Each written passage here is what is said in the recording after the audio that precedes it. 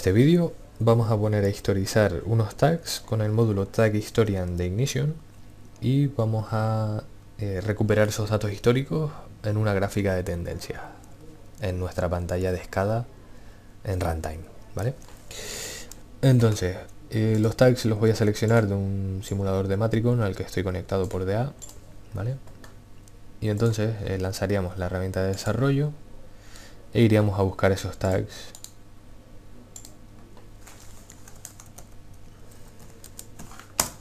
para utilizarlos en el proyecto, ¿vale? Los vamos a buscar. Selecciono cualquiera porque es un simulador.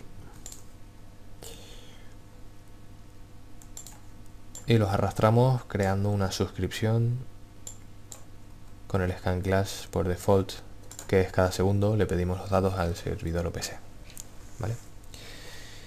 para ponerlos a historizar cierro esto clic derecho, editamos tag, sección history y le decimos aquí, esto ya es módulo tag historian, ¿vale? Eh, ¿A qué base de datos vamos a, a historizar los datos? ¿Dónde los vamos a registrar y con qué scan class? Aquí el scan class seleccionado es el default historical. echamos un vistazo aquí. En este caso será cada 10 segundos. Puedo crear más y utilizarlos eh, aquí si queremos o en, aplicaciones de tiempo real también, ¿vale? Le decimos OK y el pergamino a la derecha de cada tag nos indica que esos tags se están historizando. Para recuperar esos tags y tener nuestra gráfica de tendencia, seleccionamos este objeto que es un EasyChart, por ejemplo, que nos viene ya con un selector de fechas integrado y demás y analizamos brevemente sus propiedades, ¿vale? Una de sus propiedades, que sería el chart mode. En modo historical para ir a buscar dentro de ese rango de fechas qué datos quiero ver que en mi gráfica o en modo real time para ver una tendencia de datos recientes, ¿vale? También tenemos un modo manual que no vamos a ver.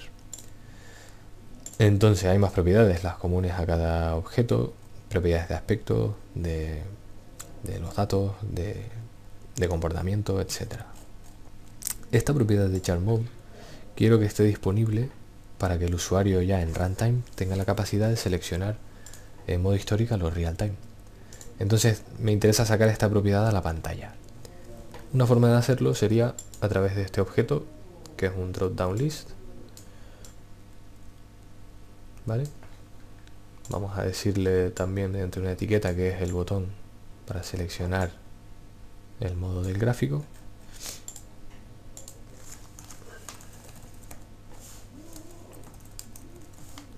Le damos un poquillo de formato.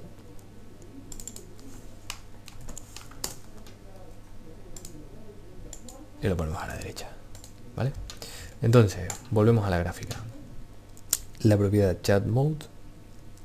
Quiero el modo de la gráfica venga dado por el valor seleccionado del drop down list ¿vale? y entonces a ese drop down list le damos los mismos valores que teníamos en la en la propiedad del, del chart mode. Y eso es a ver si lo encuentro aquí la propiedad data dataset. Y entonces aquí creamos la posición 0 para manual pero no lo queremos ver la posición 1 para historical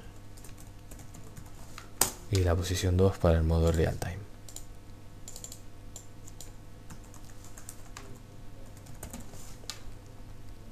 Ok.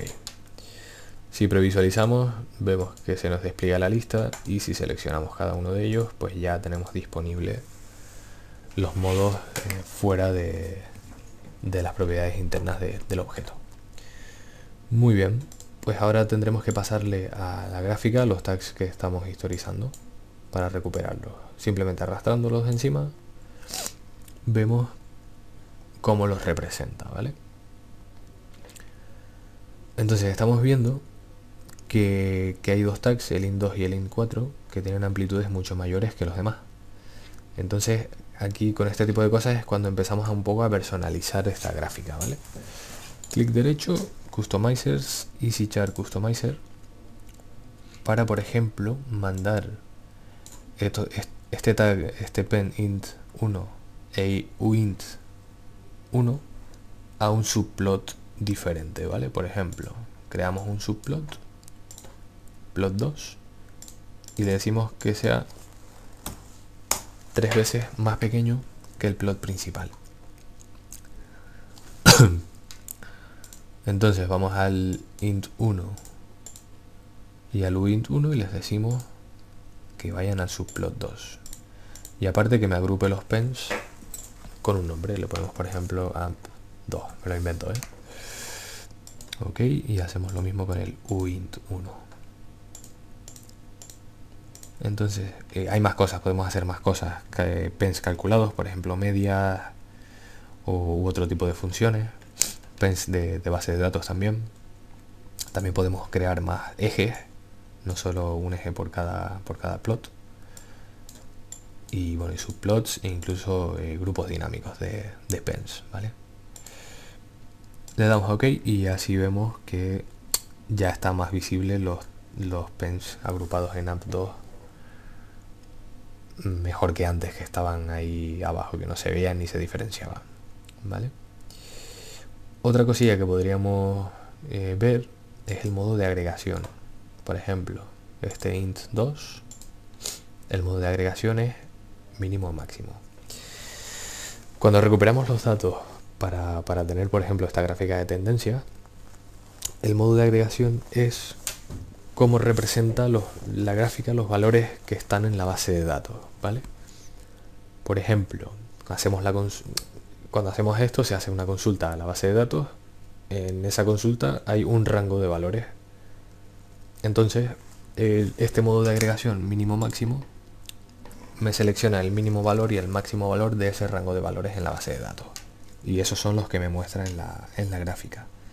Otro modo es el closest value que nos va a entregar el valor más cercano al último valor del rango, ¿vale? El más reciente. O el Basic Average, que me hace una media entre todos los valores del rango y, no, y el valor que va a representar es la media. O una suma de todos ellos. O el mínimo valor del rango, o el máximo, ¿vale? Eh, también tenemos varianza, desviación típica. Entonces aquí los modos de agregación a seleccionar siempre van a depender de lo que queremos mostrar en la pantalla. ¿Vale? Pues nada, con esto vamos a lanzar el cliente, vamos a salvar y publicar. Y desde el designer podemos lanzar el proyecto. Y vamos a ver esto cómo queda en, real time. Otra cosa que no he dicho es que cuando creé el proyecto, seleccioné una plantilla de proyecto que me da una serie de ventanas preconfiguradas. De navegación, de alarma, etc. Esta ventanita en la que he estado trabajando la he llamado trending.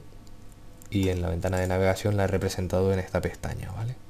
Ya se me arrancó el cliente. Así que nos logamos. Y abrimos el proyecto ya en modo runtime.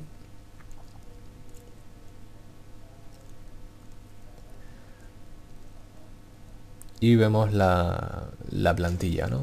Arriba a la izquierda, a la derecha, perdón, tenemos eh, bueno, una serie de opciones para cambiar de usuario, salir, eh, las, pestañas para seleccionar la ventana, ¿vale? Una, ventana pop-up de alarmas, ¿vale?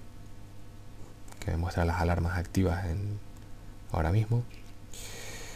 Y bueno, y más cositas.